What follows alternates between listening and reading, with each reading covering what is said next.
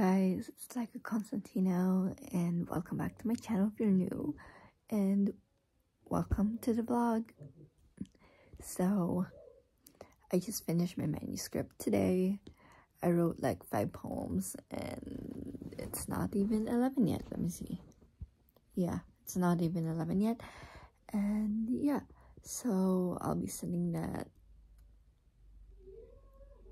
tomorrow at noon Pacific Standard Time and yeah, I'm telling you guys because I love this collection and this collection is about growing up. There's some love poems in there and it talks about my life. So like I'm basically doing poetic life thing in the poems. I showed Patreon this last week and I'm gonna show with you guys now. Since I put it on hidden for a bit for a few days and I thought no one would want it so it's been hidden. So yeah i'm gonna show you guys it. It's one of my proudest work proudest recreations proudest styling. Here it is. Of course the blonde hair is um inspired by rihanna. Somebody made it. The glasses on her head is by somebody else. The jacket is by somebody else. It's layerable. And the shoes by somebody else. The necklace by IMVU. The top is a texture by somebody else, but I recolored it and added Harvard. The top and the jeans is a recolor by me. So yeah. The inspo is, hang on, let me show, my face on camera. The inspo for that outfit is um, Legally Blonde, the musical, and the outfit from um, Harvard Variations. But in the pro shot, there's a hat, and Emmett says, wear a hat instead of fixing your hair. So I decided to take off the hat and put in the glasses, which is the tour version of the outfit. And yeah.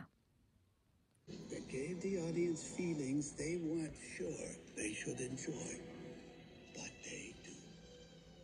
Create their greatest show on earth. Good morning. So iPad. I put it on the pillow so it sleeps.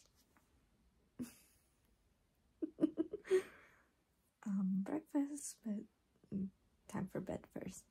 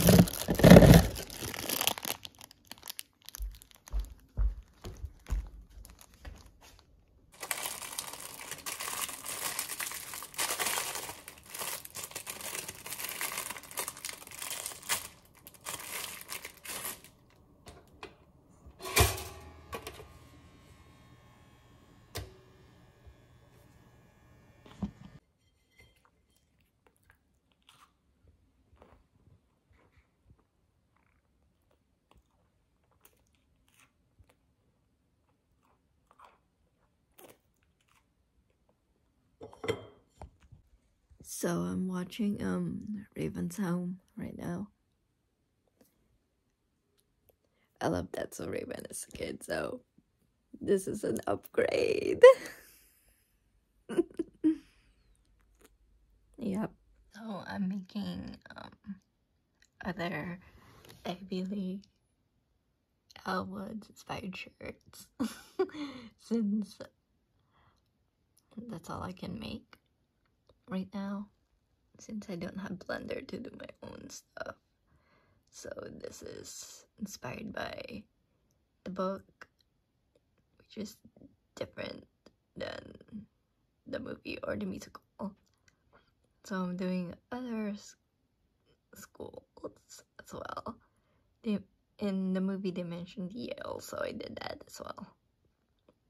So I made three more of the pink tank. Inspired by woods. And of course if you read the book you'll recognize that it's set in Stanford. And in the movie they did mention Yale. And there's the cheaper Ivy League version of it called Brown University. So yeah. Those are the three new tanks.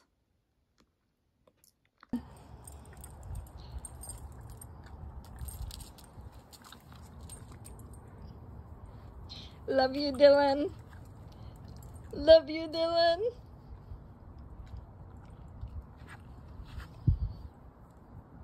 This is a rare occasion sunbathing. So rare. We love you, Dylan. Now he's napping. Okay. Oops. Oops.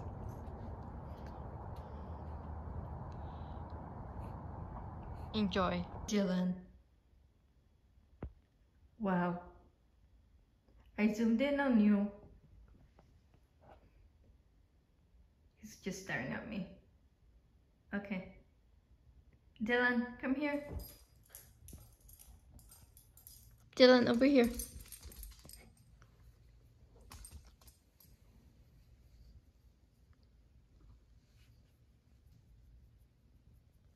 Hi.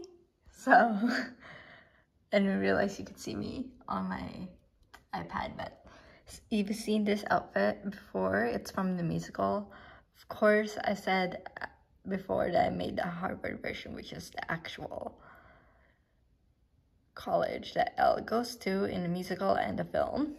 So I'm going to show you guys the other shirts that I made. I give you guys clips of it here. So here's this. Oh my gosh. Okay. Much better. So here's the Stanford version. It says Stanford and it's in pink. Could the pink could be lighter, but it shows us lilac. This one's the Yale version, where Warner's brother goes. So Elle and Warner's brother dated, it would be Yale. and here's the brown version. Brown is also Ivy League, so I had to do it. I know there are other schools, but this is primarily the schools that I know. And the three that I made Yale, Stanford, and Harvard is the one from Legally Blonde, and it's canon.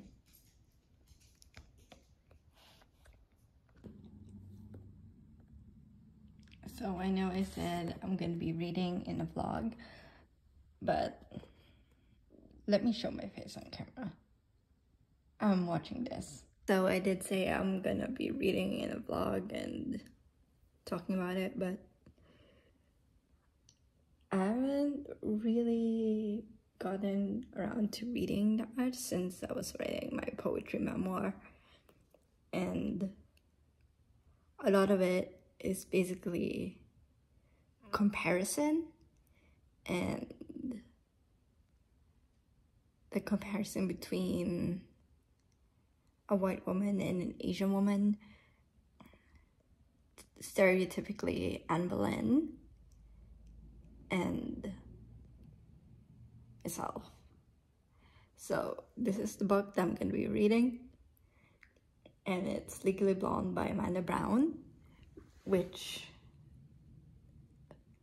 has, which is the original Legally Blonde. And I got this after watching the pro shot of Legally Blonde the musical with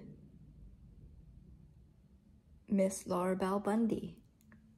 And I love the musical so much, as well as the movie. The second one is cute. That's all I'm gonna say. Oh.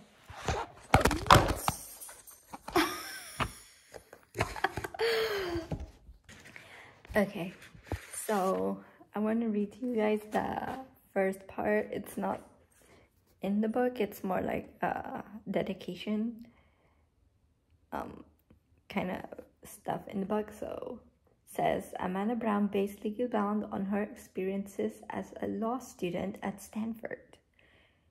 The novel has since been made into a successful, highly successful film starring Reese Witherspoon. I love that film. So yeah, it's based on Stanford. So I had had canons of like Elle's cousins like Izzy and Annie Woods. Oh my gosh. One of them went to goes to Stanford and the other goes to Harvard. I was like that's how you tell them apart. So that's a head canon that I had um, in college while basing my whole entire um, mantra on I need no backups. And the reason why I love film is because this movie and other movies as well. Meeting now and oh my gosh they mentioned Yale the quote says um and doesn't this seem to remind you the let me start again. And doesn't this remind you of when we took Edward to shot and then Yale? Question mark. Oh my god. It's probably why they said um, Warner's brother went to Yale something just to add a little nod to the book. In college, I made this character up called um, Melanie Mercado. And Melanie Mercado is a private investigator, and she's inspired by Elle Woods, number one. Of course, there's a character that I derived and gave the name Gabrielle because it's my cousin's name, and of course, the last name Woods because Woods. But then I realized I don't need that character. Probably it's because she she basically does nothing to the story and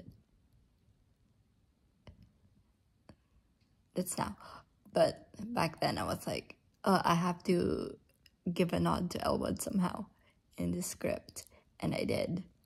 And that's gabrielle woods. Um who is a detective by the way. So yeah. And the script it talks about discrimination and talks about discrimination in the workforce mainly and talks about sexism between male and female and the fact that sexism sees no color I'm gonna end this vlog right here. I know I said so much in this vlog and showed you guys my IMVU creations and showed you guys my dog and showed you guys a book that I'm currently reading and yeah.